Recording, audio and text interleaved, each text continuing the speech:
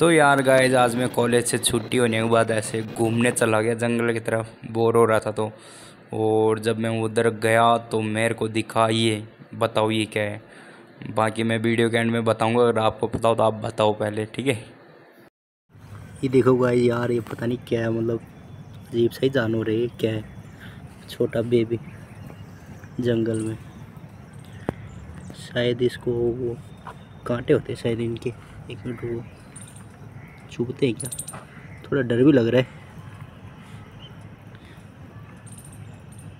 ये रे रे रे कांटे, ओ भाई, कांटे अरे बाप रे चुबा ना दे।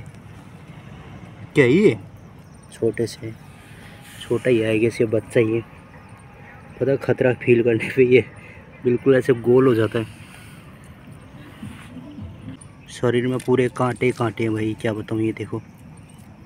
छू भी नहीं सकते हाथ से तो। ये देखो अभी चलेगा ये। ये देखो, उड़ गया। ये देखो ये देखो देखो। भाई, ये देखो। चलो ये चल दिया। आ, कहाँ से गया रोड के बीच में? ये देखो। पता नहीं, है तो क्या है वैसे। ये देखो यार। कांटे ही कांटे इसके पूरे शरीर में। जा रहा है। चलो भाई जंगल में ज़्यादा इतना भी सही नहीं है।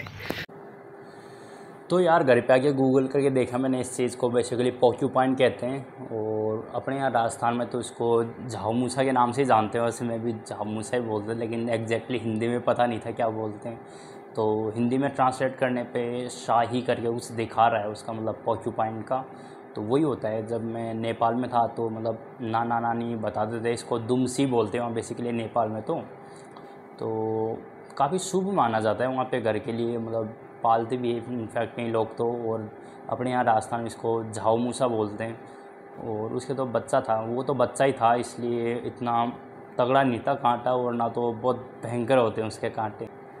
तो यही मिला था बस।